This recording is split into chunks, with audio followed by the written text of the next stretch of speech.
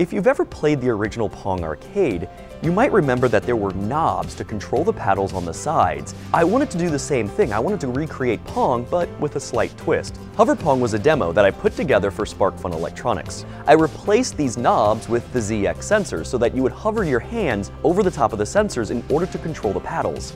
The sensor is actually really cool. It uses two infrared LEDs that blast light up to a nearby object. The object then reflects light back to a sensor that's between the LEDs, and that sensor, the infrared receiver, looks for changes in light intensity or changes in phase from the light. From that, we can determine where the object is in relation to the sensor itself, say how far away it is, that's the z-axis, or left to right across the top of the sensor, that's an x-axis, so that gives us two dimensions. I used a 32 by 32 LED matrix for the graphics and a Teensy 3.2 on a Smart Matrix shield to read the sensors and control the game.